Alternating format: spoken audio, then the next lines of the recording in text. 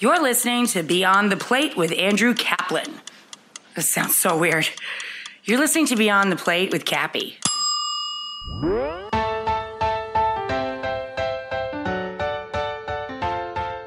I think like the the greatest lesson in the business is you know you have to be at your restaurants. You have to be there. If you're going to be in the restaurant business, you got to show face. You got to. No one's going to treat your businesses like you do.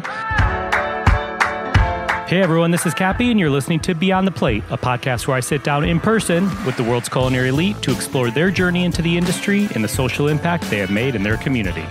Every episode, we share inspiring stories of what it means to be in today's hospitality industry. This is another episode recorded live from the 17th annual Food Network and Cooking Channel South Beach Wine and Food Festival. This episode is brought to you by our friends at Martin's Famous Potato Rolls. Martin's Potato Rolls are the number one branded hamburger bun in America, and as I like to say, they can make almost any burger taste better. If you missed last week's episode, uh, it was our fifth Wednesday episode. It was a bonus episode with Julie Martin of Martin's Family fame please be sure to check that out. There's some really fun behind the scenes stories about the bakery going from literally producing rolls in a garage to now having two huge bakeries, one in Pennsylvania, one in Georgia. And as I like to do in these ad reads is share something how I like to use this product. So recently I needed a really quick and easy way to do a garlic bread, so I took some of their sandwich rolls, toasted them up lightly, gave them a little slather of butter, sprinkling of granulated garlic and granulated onion, shaved a little Parmigiano Reggiano cheese on it because it was sitting on the counter next to me, and why not? And voila, a good, quick, and easy garlic bread. Anyhow, Martin's gives back to their community through volunteering time and donating resources. They support hundreds of charitable organizations such as food banks, after school programs, disaster relief, and others that provide sustenance and comfort to people in need both close to their baking facilities and abroad. So, to learn more about Martin's, visit their website at potatorolls.com or follow them on social media at Potato Rolls. Martins, we thank you.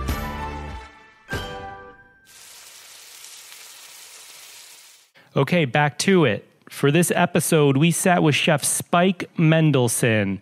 All right, full disclosure Spike is a friend. I've known Spike for a long time, so I know that he's a very kind and giving individual. This is a chef that doesn't take himself too seriously, as you'll hear. He's incredibly talented and has an enormous culinary background, which also a lot of people don't know because I feel like he came onto the scene when he did Top Chef, the Chicago season. He has this background. He's traveled the world. He's cooked in Luxembourg and Vietnam and a bunch of other countries, actually. He's a dad to a baby with a very sophisticated palate, as you'll hear.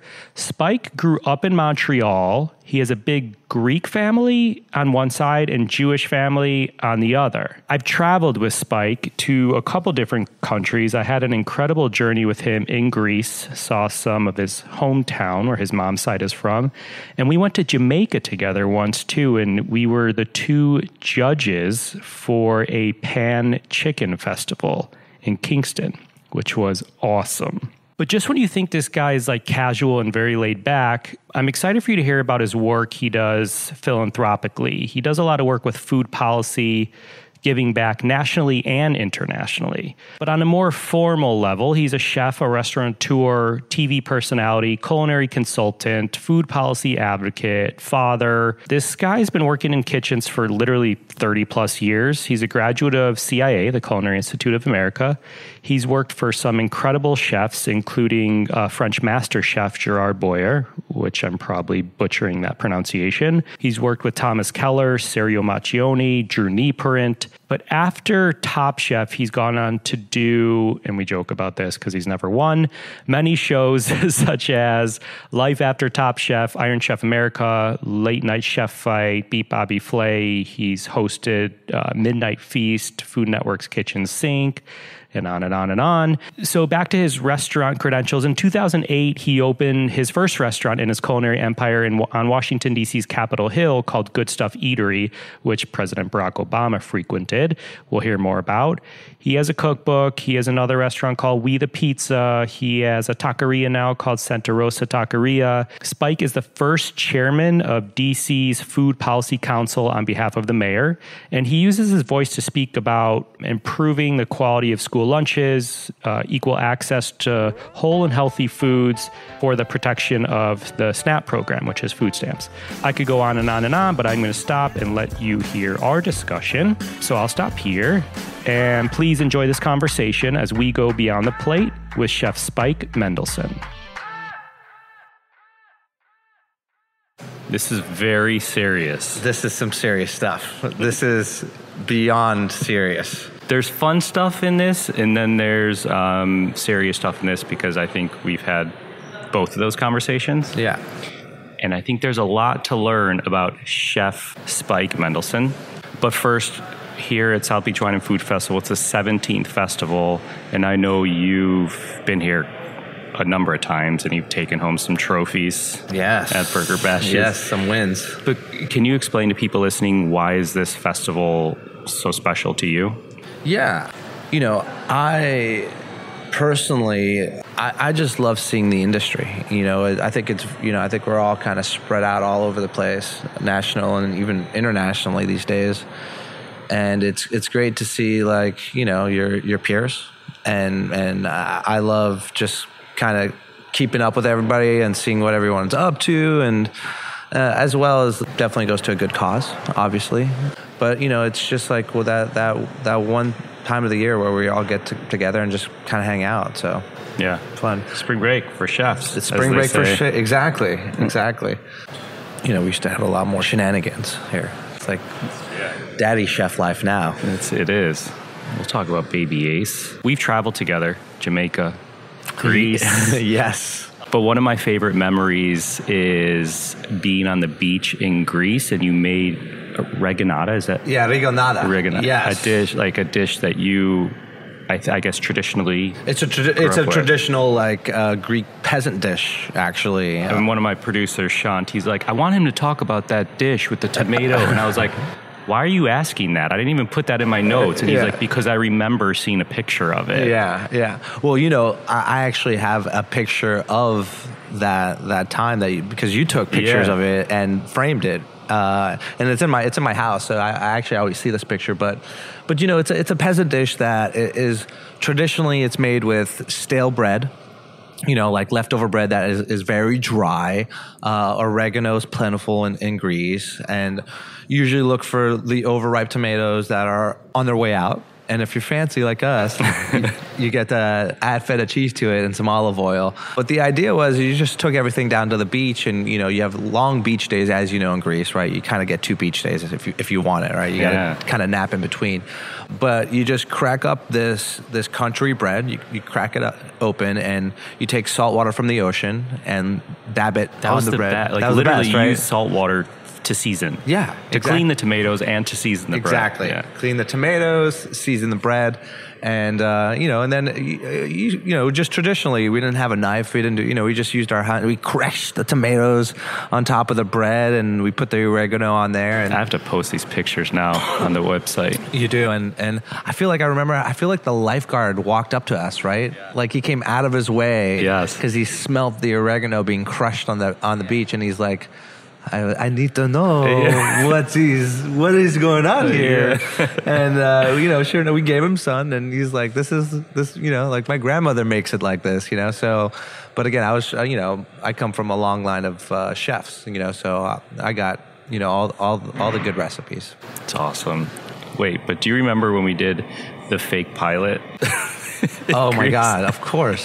because you've done a lot of um, competition shows, but you haven't won the competition Right, shows. yes. Do you remember what the opening was? the opening is like um, the, the opening went something along like hello you may uh, know me from top chef uh, iron chef iron chef america iron chef redemption because I lost every single one of those shows. So it was like you know we would just the you know the joke was like I'd just go through every show that I lost and got kicked out of them. Wait, But, do uh, you want to win one of these shows? Or why do you do these shows? I know you can cook. Yeah, yeah, yeah. I, I feel like I I uh, I think I have a problem with taking it so serious. You Yeah. know, when I go on these on these shows, like I feel like there's guys that just really want the win, and and you know they're going to do anything for it, and and I just I've never been that type of person. I've never wanted to like you know.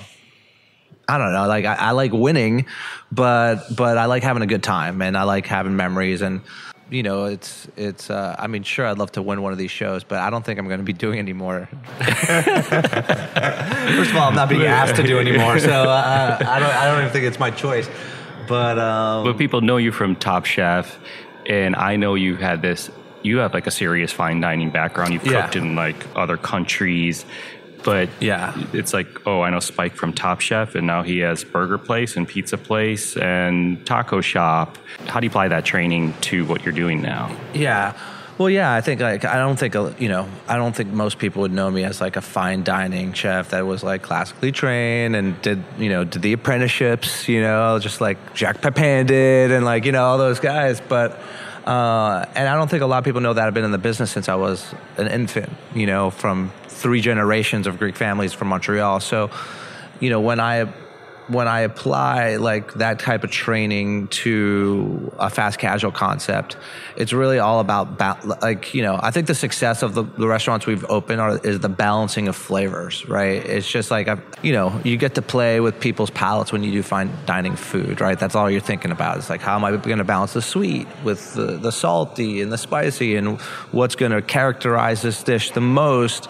And if you apply that just to a burger, you come out with some really, really delicious burgers, right? So, for instance, like the Obama burger we made, it was, I think, a perfect example of that, where we had, you know, we had this great blend of meat and we wanted some textures and some really poppy flavors. And we did a red onion marmalade that was sweet, uh, a blue cheese that was salty, a horseradish mayo that was tangy, and apple smoked bacon that was smoky. So you had a lot going on, a lot of flavors and textures, and you know I think that's how you apply. It's it's not you know I'm not building rockets or anything. It's just like Yeah. it's just like a very simple application of like good delicious flavors to food that's just in the mainstream. How, how did you? You have a uh, mayo bar Yeah. at Good Stuff Eatery, your burger place. Is that at every Good Stuff?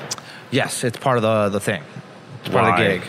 Well, you know, it's always nice to give like a little freebie away, right? Where you you know, and and the Mayo bar is based off of you know I I lived in Luxembourg and worked in Luxembourg and traveled through Belgium and the frites and sauce was something that was I was always about. We even had that. We kind of grew up with that in Montreal too. Yeah, so we do a mayo bar for our frites. So like our fries from Good Stuff Eatery are it's an aged potato that comes from Canada. We cook, you know, double fry it, and and uh, people have like sriracha mayo. We have uh, Old Bay mayo, uh, and we have uh, um, uh, chipotle mayo, and then our best seller is our mango mayo. Is it really? Yeah, it is. Like, well, it's not even I've a had- seller. I've had it. Yeah, it's not even like it's, we give It's it away. yeah. but people take I a like, lot of it. I like it. I like, I like the sweet and my savory personally. yeah, So. yeah. So so do I. I mean, we How love- are they? Like, is Chipotle like pureed Chipotle's mango, pureed mango? Yeah, so we so the mango i i it's kind of a, a mango chutney, right? So it's sweet, cooked down like mango, like so it's like a chutney that we puree with with mayonnaise. Same thing with sriracha. The sriracha is uh, sriracha and condensed milk to balance it, balance out the spice a, a little bit.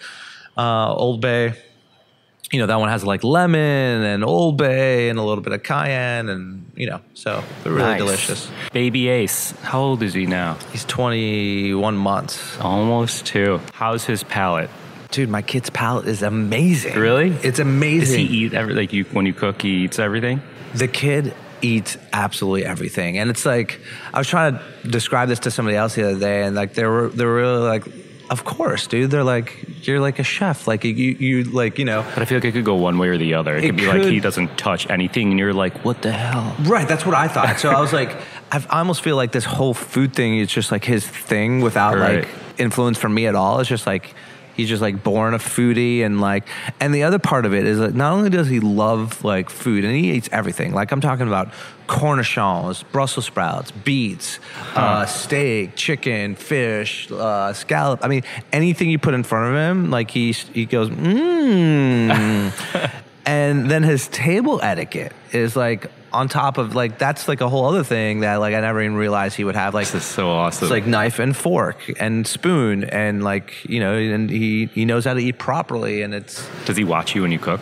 it's a joy yes yeah yeah he does he he he has his own little play kitchen so when I cook he like comes to the you know he spends time from the kitchen like my kitchen going to his kitchen and like like, tossing Daddy, I made you a. He brings you like a plastic. yeah, burger. he brings a plastic everything and wants you to eat it. He's also like notorious for stealing all our food. Like just the other day here I, at the pool, you know, we were lying down and I got this great like uh, ham and cheese croissant uh, from Rosetta Bakery. Have you been Is there? that the place right on Dude, there's a line. Yeah, uh, right, right here. Yeah, on Collins. yeah. It lines around the corner Wait, wait. every morning. It's on Collins or on the corner of like 17th or it's on the on on the corner of Lincoln and Collins. Yes. right here. Yes. there's a line out the door every morning. yes we got I got coffee there the other day It's delicious stuff. Anyways, he stole my he stole it out of my hand and like just ate the whole thing. You know, I'm like like a whole croissant you like, sandwich. you're like dude. so happy but you're like you just took that whole thing dude. exactly. So it's like bittersweet. Like I kind of want to eat that, but you're so damn cute. So That's so funny. You're kind of Greek, as you mentioned,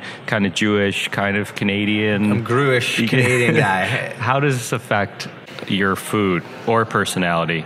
Um, I Did you don't grow know. up in Montreal? Yes. Yeah, yeah. So I, I grew up in Montreal and then, um, you know, uh, I grew up in, you know, big Greek family. Uh, um, my mother married a Jewish man. Were they in the restaurant business in Montreal? Oh, yeah. Still in the restaurant business in Montreal. I sat with you and your mom once outside at uh, We the Pizza, and I remember like hearing her go off on business things about the menu and menu mix. And I was like, I remember I asked you, "Is your mom in the business?" And you turned her, you're like, "Mom, he just asked if you were in the business," and she cut my head off. Yeah. Now she's a gangster in the business. Like she comes from, uh, I mean, like, uh, you know, her gra- her father, my grandfather, and four brothers had a massive restaurant group in in Montreal, still do, and she was trained in the hard knocks of the, that that whole circle. You know, imagine like five Greeks, you know, uh, being, you know, she had to work all those hours and. So like she, you know, we used to cook on the line together for years. Like hmm. my mother, I used to cook on the line with my mother. Like in- Really? in oh yeah, for years for years. She, uh, you know, she would expedite and and She runs circles around you, or what? I mean, she she's pretty. She's pretty. She knows what she's doing. Like you know, she's she's not only a home cook, but she's like a professional restaurant. Have you learned a lot of lessons from um, mom? And dad's in uh, it, or he's is he Dad the accounting pulled- side, or dad got pulled into it because of from my mother. He was a, an accountant, but we can use accountants in the restaurant business, right? For sure. so so uh, you know, he just applied his his stuff to the restaurant business, all the front of the house, wheeling, dealing the deals, and like together they made a really good team. So growing up, like between my Greek family in Montreal and the travels to Spain, and like I was always surrounded by restaurants, really. So. were there family dinners, or were you just like always in restaurants?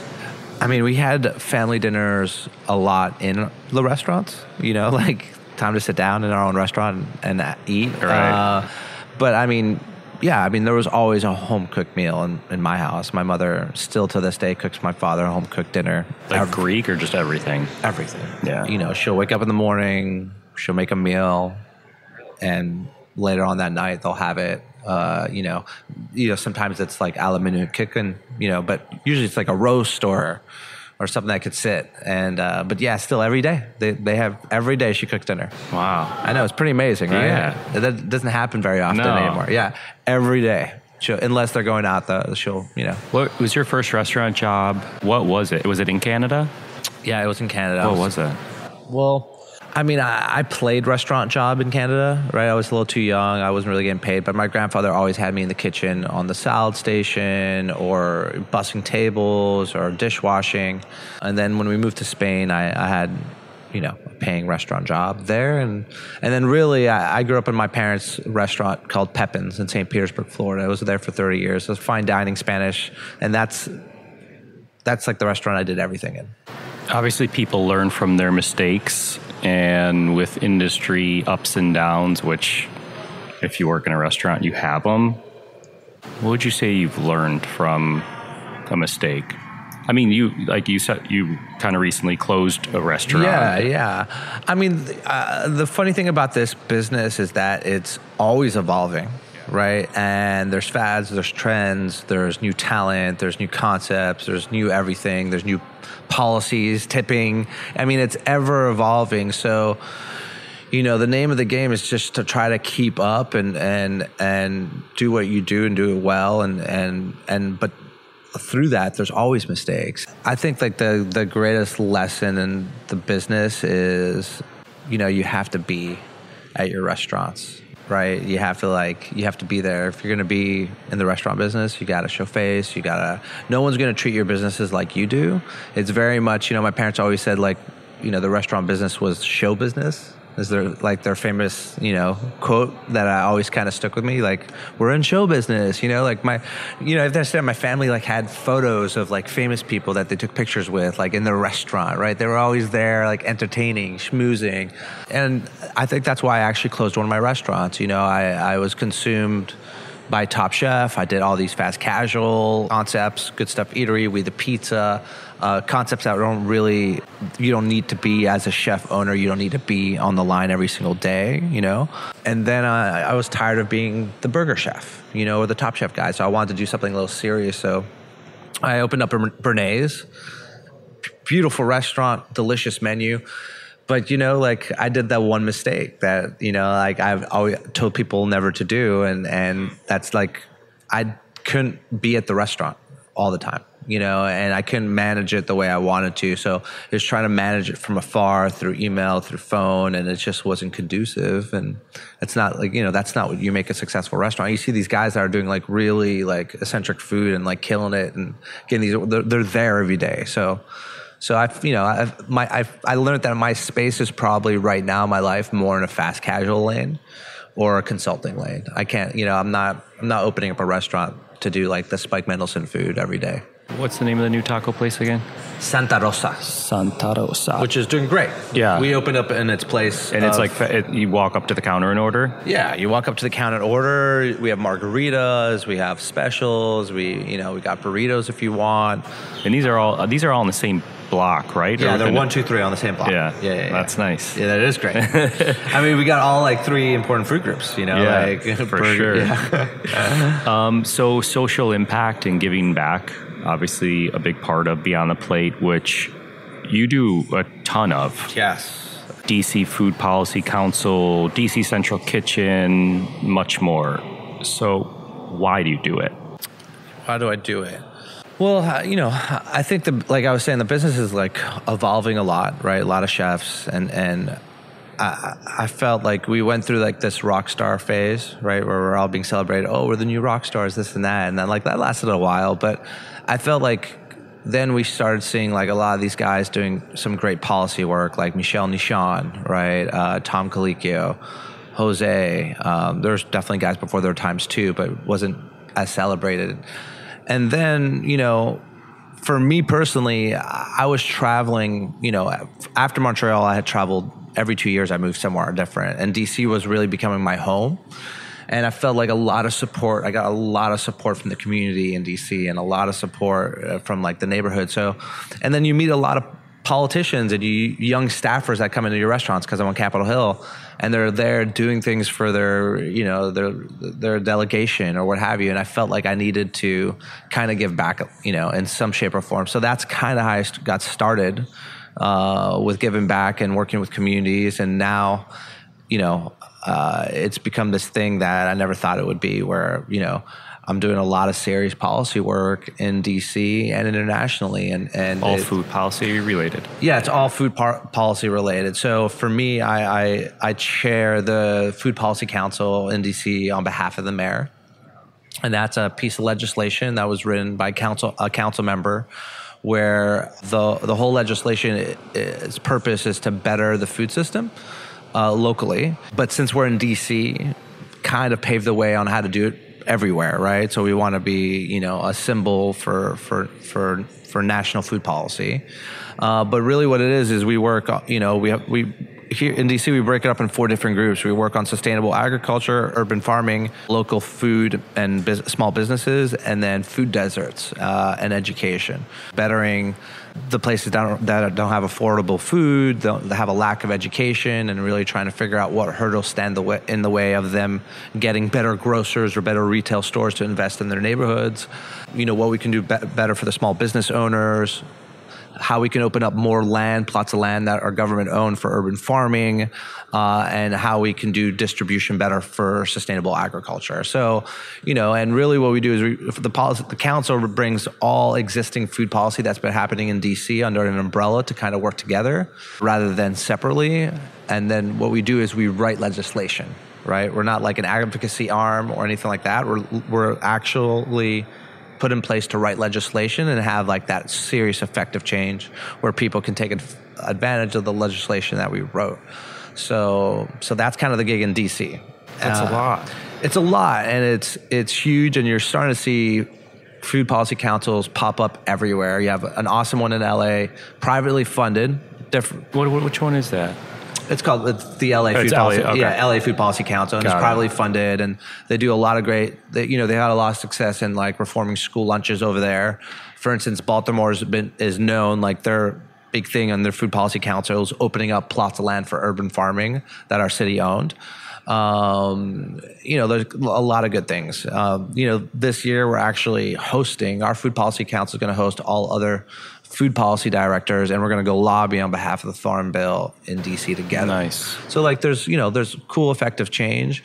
Um, and then you know care is awesome awesome work too. It's international work. Uh, it's mainly it's mainly doing it's more of an advocacy arm and i mean they have a, I, my part of it is advocacy. They have effective change right? So uh, it's really going like so far i've done two trips. We went to mozambique and peru where we um, you know we invest in smallhold farmers and and try to change the narrative and empower women a little bit more uh, where they're regarded as you know ladies that just should take care of the household but actually they're the providers of everything in the household so you know it's we, we do it in many different ways so and i feel like that's a full-time job almost yeah it, it, it's um, I balance it out pretty well, yeah. you know. Like uh, I, I, I do as much as I can you know, with the time I have. But, but uh, you know, I'm lucky. I'm in DC. It's kind of like, you know, where it's all happening.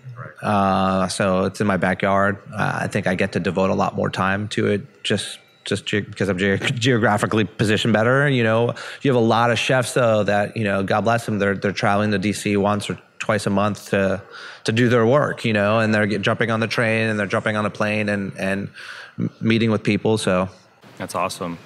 Keep it up. Let's do a speed round. You've had some big policy guys on here too, right? Yeah, yeah. We talked with Colicchio um, about a lot of the work he does. Jose Andres was our bookend to season one, which, I mean, that, that dude.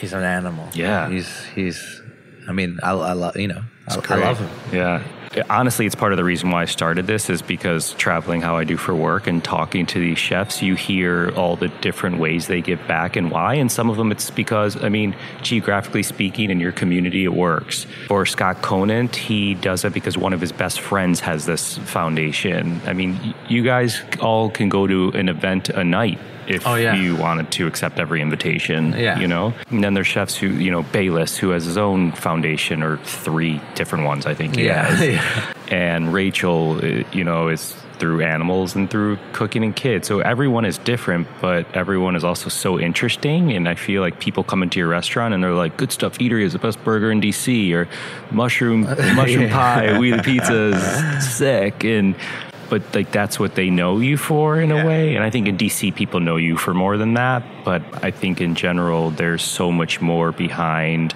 I mean, food is crazy. Yeah. And people are just going from restaurant to restaurant and new restaurant. They want the best and newest and the Instagram photo of this and that. And there's way more to you all than than that. Oh yeah, a lot you of know? depth. And some people have no clue. People, I had someone text me the other day. They said they were listening to Michael Solomonov and they got they were getting emotional and teary eyed taking the subway in New York. I'm like, believe it or not, you're the second guy to email me saying they got teary eyed on the subway listening to the podcast in New York. He's like, correction, second guy that's admitted it. That's what you want to hear, Right. Yeah, exactly. So, all right, what did you have for dinner last night? Dinner last night was here at the Loews. I had a roast chicken. Yeah, was it good? It's actually delicious. Yeah, they get, they get nice little little hens. I don't know where they're getting them from, but but uh, I forgot to ask. But it was like beautiful roast chicken, nice grilled lemon, served on a cast iron. I think they served me a little like side of chicken fat, Really? chicken fat with it, so I could dip the chick the roast chicken in. I love that. Like the schmaltz. Yeah. it was delicious. It's great. Name a smell in the kitchen you love. Stock, Name a Chicken s- stock. Chicken stock. Name a smell in the kitchen you hate. Brussels sprouts. it's cooked, Co- Yeah. roasted. What pisses you off in the kitchen? Um, what pisses me off in the kitchen is, um, I mean, working dirty, like dirty pans. Like, I'm a, a pretty much of a neat freak in kitchens. So, yeah, What makes you happy in the kitchen? Rhythm.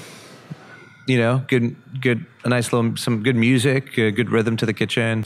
You know, when everything's working well, Yeah. It's working well. And I'm like just making this stuff out of my head though, because I haven't been in the kitchen in years. so I'm like, wait, I remember I liked, I used to like beef stock, the smell of beef stock. And- Yeah, but but you're you have fast casual kitchens. I mean, Yeah, no, I, I mean, you the know, hum of your of like good stuff at lunch hour on Capitol yeah, Hill. I mean, yeah, yeah, yeah. There, there's, there's, you know, there's uh there's an awesome vibe of the restaurants that we have, and it's like when you know what what we strive to do on the hill is like we want to have great music, something that's upbeat. We want to have action. We have open kitchens. Yeah. We want to have a line. You know, we want people smushed together, like feeling like you know, like it's fun. So, you know, um, yeah, like a, a nice little vibe. yeah. All right, you're 37, 38, 37. You've accomplished a lot. What's on the chef bucket list? Ooh, uh, chef bucket list right now. Well, you know, as as crazy as it seems, I would like to do like a small like forty seat restaurant at some point, uh, but later, not now. Uh, I think I, I still want to get Like like find like nicer like yeah, yeah. I want to. I, you know, I've never done. You know, even Béarnaise was a concept restaurant, right? You know, heavily on concept, like a steak frites restaurant, brasserie, what have you. I've never really opened up a restaurant that just is like, you know, my food from like all my backgrounds, or you know, and like it's not really driven by like a Mediterranean feel or this or that. It's just like a little culmination of me. So but I, you know, I never want. Uh, I- I think later in life, so maybe ten years from now or something like that. We'll see. sweet. Yeah, that's on the bucket list. Awesome. Yeah. Thanks, dude. Appreciate it. Yeah, thanks for having me. Quote The funny thing about this business is it's always evolving. The name of the game is to try to keep up and do what you do and do it well. But through that, there is always mistakes. Thanks again to Chef Spike Mendelsohn. Find more on him at chefspike.com. Join us next week when Beyond the Plate presents Just the Plate, a short segment where chefs describe a dish or a recipe that is meaningful to them. Find me and keep up to date with this podcast across all social media platforms at On Cappy's Plate or go to beyondtheplatepodcast.com. Beyond the Plate is on Twitter at BT Plate Podcast and Facebook. Thank you to our partner, Aisle 8 by Flavor Gallery, who supplied all of our signature hats and t shirts to our Beyond the Plate guests. These will be coming to the Aisle 8 by Flavor Gallery site soon. This episode is brought to you by our friends at the National Mango Board. The National Mango Board is a national promotion and research organization which is entirely supported by assessments from domestic and imported mangoes. Basically, their mission is to increase consumption of fresh mangoes in the U.S. through research and promotional activities. My wife happens to be a huge fan of mangoes, and I just had mangoes on a delicious dessert just last night at Stephanie Izard's Duck Duck Goat restaurant. It was a mango coconut cloud dessert, a coconut sponge cake with diced up mango and dragon fruit and kiwi. And it was delicious, but I was with my friend and his little baby named Olive, and Olive loved the mango so much that I didn't get to eat any of it barely because she was reaching for all the bright yellow, juicy, delicious mango. I also love mango in smoothies and salsas, Thai mango sticky rice, which I mentioned last time that I can't get enough of when I see it on the Thai menu. By the way, how about Chef Spike's use of mangoes on his mango bar at Good Stuff Eatery? Some tips for you look for mangoes not by sight but by feel, because some mangoes are green and others are red, so the feel is actually what determines the ripeness, not the color. Squeeze them gently, they will give slightly. And also, many people think they're only available in the summer season, but there are actually six varietals of mango available in the US, meaning you can always find the right mango in your supermarket any time of year. To learn more about the National Mango Board or how to cut a mango, for instance, visit mango.org. You can find them on Instagram at Mango Board or on Twitter at mango underscore board. National Mango Board, we thank you. This episode was produced by me, along with Ian Cohen, Joe Yeaton, and Shant Petrosian. Our music has been composed by Goldford. As always, special shout out to my wife, Katie. Please rate, review, and or subscribe to this podcast on your listening site of choice. Thank you for listening to Beyond the Plate. I'm Cappy, and remember, there are never too many cooks in the kitchen.